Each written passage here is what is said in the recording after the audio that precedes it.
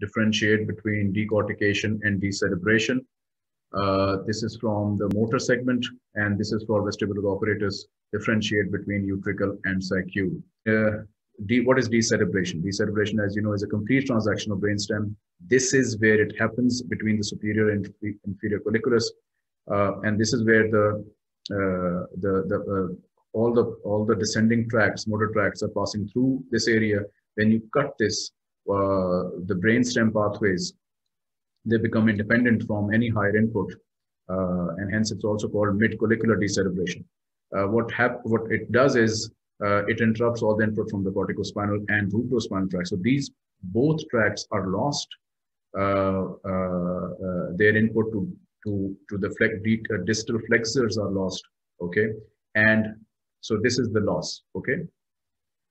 Um, as a consequence, excitatory and inhibitory reticulospinal, i.e., whatever stuff is below the lesion from the brainstem, whatever is is getting uh, down to the spinal cord, that become that remains intact, and in fact, it becomes exaggerated in its response. Hence, you have all sorts of rigidity in extension.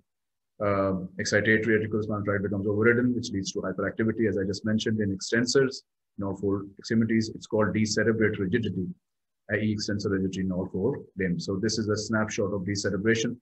Uh, uh, it it it different it's different from decortication in a in a bit uh, in the sense that the lesion is above the lesion that is described here. Let me just show you.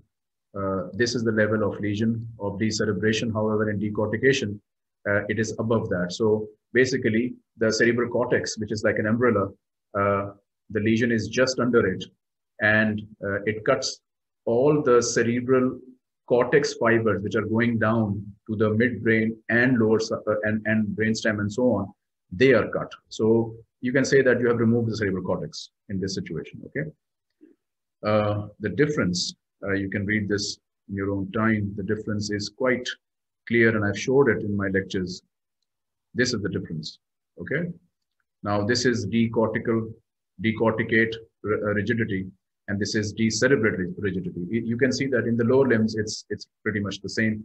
However, this is where the, the difference is. Why do we have decorticate uh, in, in, why do we have flexion at the elbow in decorticate uh, posturing and not in decerebrate posturing? I'm